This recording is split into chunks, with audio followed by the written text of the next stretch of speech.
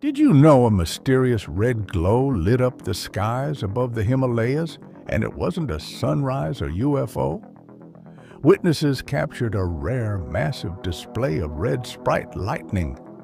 Electrical bursts so intense they look alien. Subscribe now to Granpa's Mystery Mic for more real-world phenomena that defy logic. In May 2022, over 100 red sprites, giant flashes of red light triggered by massive thunderstorms, were filmed above the Tibetan Plateau.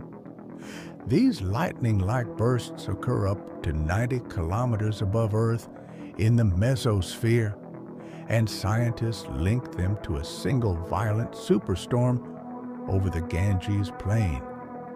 Unlike typical lightning, red sprites glow crimson due to excited nitrogen particles and often resemble glowing jellyfish.